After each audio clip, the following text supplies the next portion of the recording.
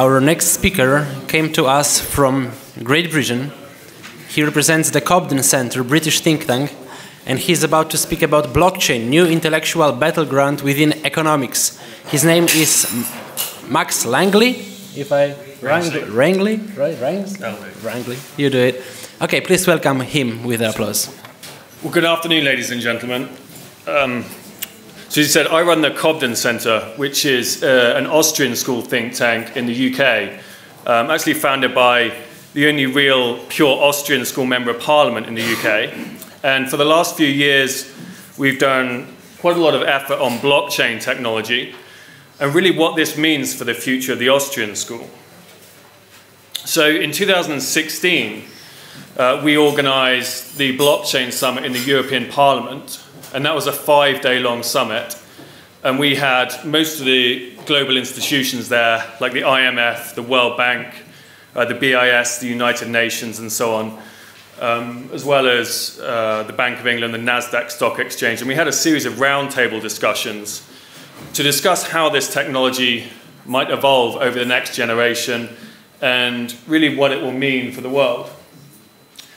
Uh, and interestingly, all of the main global institutions uh, recognize that this technology is going to have profound effects on the economy, that it's going to be very innovative.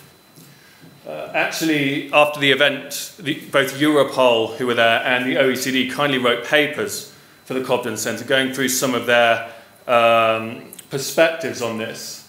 And interestingly, the OECD talked about how cryptocurrency will be useful in developing countries where, for instance, there's very high inflation rates because it gives people some, another form of money that they can move into uh, to get out of the government or central bank money.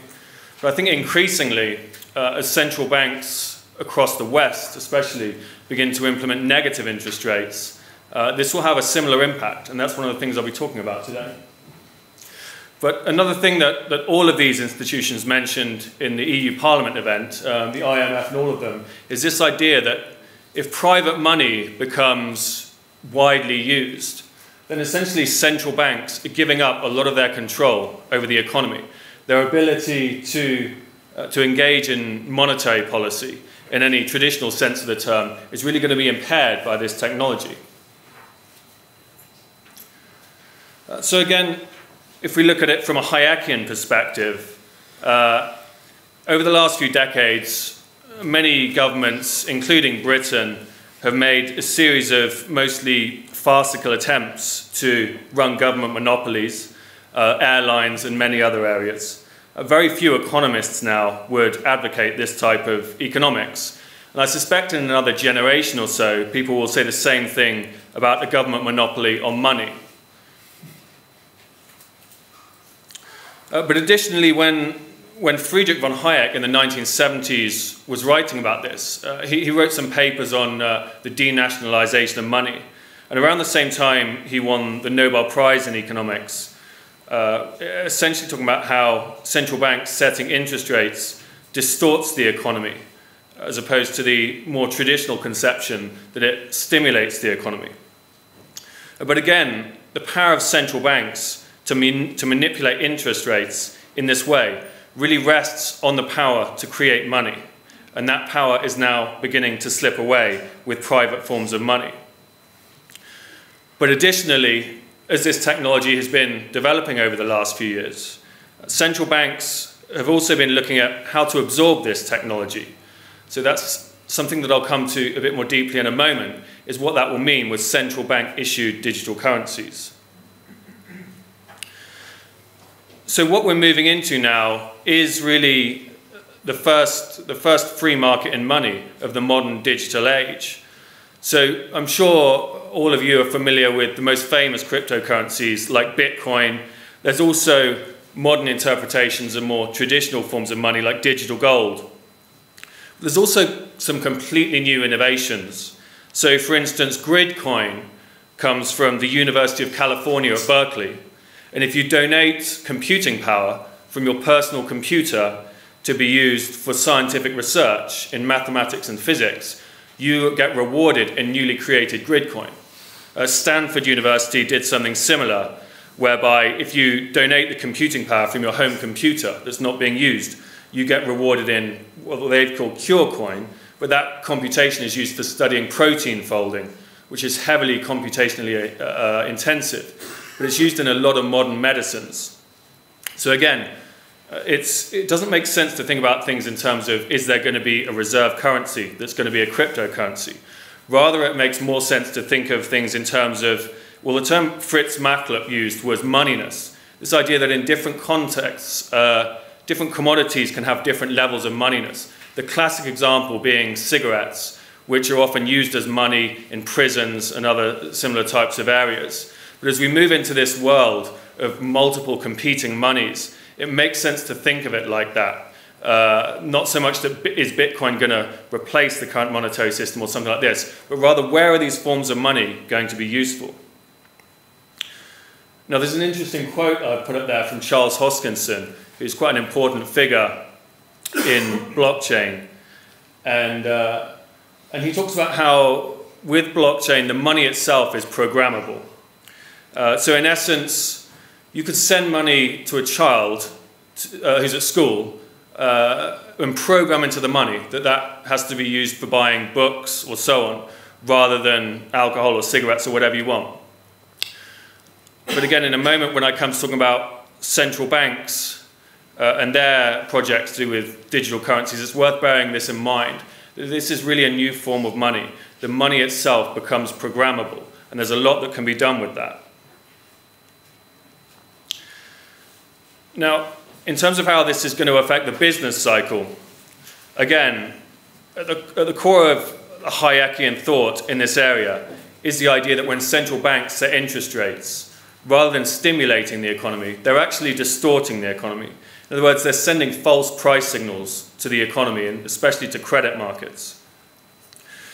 So, just as bureaucratic price setting has failed in other sectors, uh, again, in Britain in the 1970s, it was attempted in many different sectors and, and was, was rather farcical in, in all of these areas. Uh, again, the Austrian school would tend to treat interest rates in the same way. The interest rates should be set by the market rather than by central banks.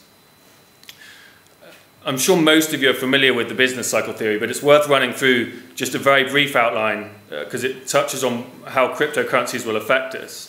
So again, when, when interest rates are set artificially low, lower than they would be in a free market, uh, more credit is created than is justified by the amount of savings in the economy. So you end up with a mismatch of demand and supply uh, relating to the pool of real savings in the economy. This also leads to a distortion in the time preferences of the economy, uh, as interest rates really coordinate uh, uh, people's time preferences in terms of whether they prefer to save and spend at a later date or vice versa. And of course, the capital structure of the economy, that is, the factories and so on, will also, over time, mould itself around the false price signals set by artificially low interest rates. And that's one of the things that we've been seeing over the last few years with 0% interest rates. Again, private money creation will allow really a move away from this type of economy in which bubbles are created through artificially low interest rates and to, towards a new type of economy. So, if interest rates are then allowed to be set by the demand and supply functions of the free market rather than central banks, then what this will lead to is time preferences becoming recoordinated. So, again, the credit markets can then function as normal, as they should do in a free market, just like other pricing mechanisms. Now, with the development of blockchain, money has been the most famous application, with Bitcoin especially, and, and the other types that I talked about a moment ago. But also, you'll increasingly see credit markets on the blockchain as well. At the moment, you do have peer to peer lending, but it's a fairly small and niche area of the economy. With blockchain, it can become far more evolved. You can have intermediaries within credit markets and so on. But again, this will still be an area of the economy which will, where the interest rates will be set by the market. Uh, if more people are saving, that, incre that increases the pool of savings available. So that brings down the interest rate. Uh, it's, it's the, the, the, interest rates are not a function of uh, decision makers at central banks. It's a function of the demand and supply of credit in the economy. But again, this, this harkens back to the point I made earlier. Uh, in the EU Parliament event, this is what the IMF and all of the others brought up, was, was this idea that the monetary policy instruments available to central banks get weaker and weaker in this scenario. They can no longer use 0% interest rates. They can no longer, in many cases, use QE because people will substitute out of this money and into private forms of money and also private credit markets. So, from the perspective of Hayek and Mises, again, it's allowing interest rates to be set by the free market that will bring about the economic recovery. So, if we look at our current situation, for instance, we've really had, in my view, a bubble that's been building up for the last few decades. So we've had interest rates falling steadily from the 1980s onwards. Again, this, they're not falling as a result of increased savings. This is not a function of the market. This is a function of central banks setting interest rates artificially low. So, for instance, after the recession of the late 80s in America, uh, Greenspan ran very loose monetary policy during the 1990s, which created the dot com boom. Then, when that burst around the year 2000, he went for even more loose monetary policy, all the way down to 1% interest rates, and that then created the housing bubble. When that burst in 2008, we've then had even looser monetary policy, years of 0% interest rates and QE, and as we know, in, in many cases, even negative interest rates and that has now created an even larger bubble. So in, in 2007, there's roughly about $150 trillion of global aggregate debt. Uh, and that was already regarded as a very substantial debt bubble. It was really already the largest debt bubble in human history at that point. That began to burst in 2008, that debt bubble. And since then, we've had a decade of 0% interest rates, and, and that $150 trillion of aggregate global debt has been turned into $250 trillion of global aggregate debt. So, again, what we're in the midst of is a classic Austrian school bubble, uh, just with more and more credit being pumped into this bubble with lower and lower interest rates. So, when this one bursts, that's been built up by the 0% interest rates, the only place that can go from there really is negative interest rates. Uh, the IMF have written some interesting papers on blockchain, and uh, actually their, their team were at the, at the EU event. So the guy, the main guy who wrote this, was there at, the, at our roundtable discussions. One of the things he talked about was this idea that uh, if, if private money becomes more widespread, uh, it, it becomes similar to a gold standard uh, as they would see it, it, it, can bring about a deflationary spiral, like during the 1930s. Uh, but actually, from an Austrian school perspective, it's more likely to force discipline on central banks because they can no longer use 0% interest rates or QE to, as they would view it, stimulate the economy. But from an Austrian school perspective, of course, they're just distorting the economy even more with these types of policies. And the National Bureau for Economic Research have written similar ideas about how uh, more, more digital currencies would force central banks to pursue tighter monetary policy. And, and the European Central Bank, in one of their interesting papers on cryptocurrencies, talked about how a way of dealing with this might be to try and impose minimum reserve requirements on virtual currency schemes. But again, they're really seeing things in terms of previous years or even previous centuries. This is something out of the world of Walter Bagehot. If we think about the types of money I was talking about, uh, money that's backed by uh, donating your computing power to, to be used for scientific research, it makes no sense to talk about this having reserve requirements.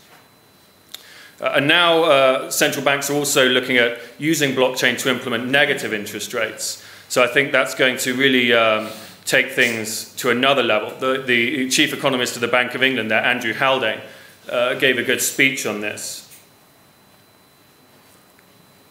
And really, what this will represent is a complete inversion of the natural laws of economics, negative interest rates. And if it's done with blockchain based money, with central bank digital currency, it will be programmed into the money itself. So there'll be nowhere to run and nowhere to hide for the saver, with all of the added distortions that I spoke about earlier. And so to conclude, I think the Austrian school allows us to understand a lot of the current developments more than other schools. Uh, blockchain is really, I think, in the midst of bringing about a renaissance of the Austrian school.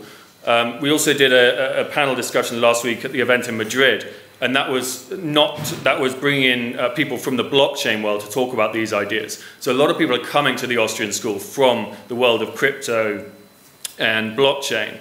Uh, the central bank use of blockchain will really allow hitherto unimagined forms of control, including programming into the money negative interest rates and other usage patterns. Uh, so the reliable way to achieve sound money is just like in other areas of the economy through competition. Thank you very much.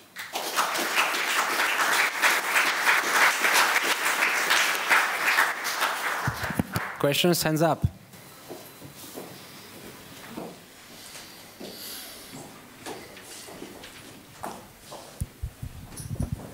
Uh, thank you very much. Uh, great talk. Uh, I'm a bit worried. Uh, maybe I'm too pessimistic on this, but um, I think the problem would be that if blockchain or Bitcoin becomes more and more accepted as a medium of exchange, then the government still has the power to shut it down, essentially. So they could say, uh, major corporations, you aren't allowed to accept any payments in Bitcoin. And that way, if, for example, you couldn't pay on Amazon or any other big retail store with, the, with your Bitcoins, because uh, they have their uh, they're at risk uh, of being punished for it, then the circulation of Bitcoin would be extremely limited in that form and couldn't really pose a danger to the existing monetary system.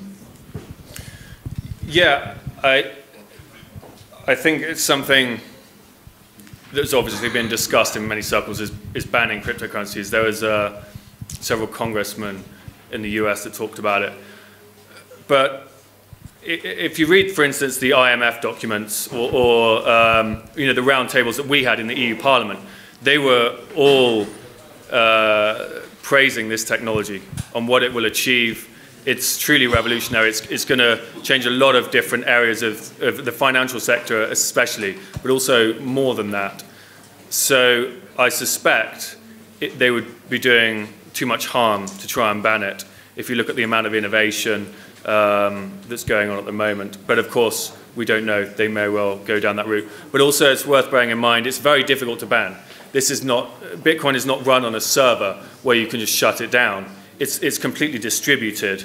It's it's more similar to something like Pirate Bay. I mean, they've been trying to shut down Pirate Bay and, and other torrent sites for years with little to no success. And and this will be similar to that. Yeah, so my question is alluding to the actual implementation of uh, a central bank issued cryptocurrency. So in 2018, the Bank for International Settlements released a report in which they talk about the central bank issued digital currencies. So what do you think? How will this actually be implemented? Because it kind of defeats the purpose of cryptocurrencies, which is getting rid of the middleman. Yeah, that, it's right. Um, the key thing, the key benefit for central banks, again, is this idea that the money itself is programmable. So if you take negative interest rates, obviously most of the major central banks, or a lot of them are talking about negative interest rates right now. There's been papers from the IMF and so on on this area. Uh, but with negative interest rates, the core problem is if you, if you have money in your bank and it was going down steadily due to negative interest rates, well, you just take your money out and keep it in cash. That's the sensible thing to do. So essentially, you're constantly liable to causing bank runs. Whereas if you have a central bank digital currency, if we all have money on a central bank blockchain uh, with cash either banned or made very inconvenient, which is more likely, then uh, that, the negative interest rates can then be programmed into the money itself. So it will make holding cash, uh, or holding money on the blockchain uh, undesirable. You'll just want, people will be more likely to spend it as quickly as possible, which from their perspective, that's what they want, because they view that as, as Keynesian stimulus. Uh, but of course, in the Austrian school, that's not how we view things. But there, there are certainly, certainly a lot of benefits to a central bank of having money on the blockchain in terms of how they can manage the economy and, as they would view it, uh, provide stimulus for the economy. All right, that's it for now. Thank you, Max. Thanks.